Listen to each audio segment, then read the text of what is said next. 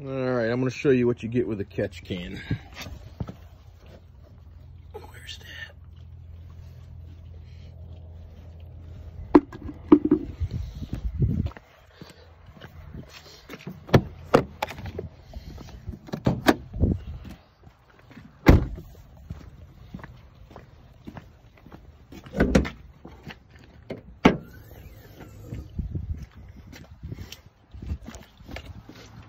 Oh yeah, get you.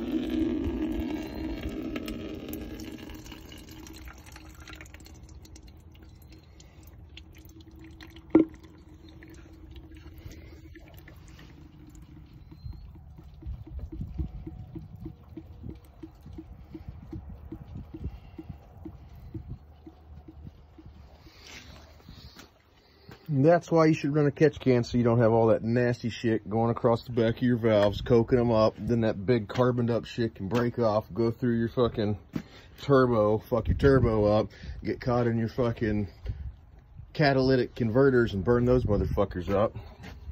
Should always run a catch can.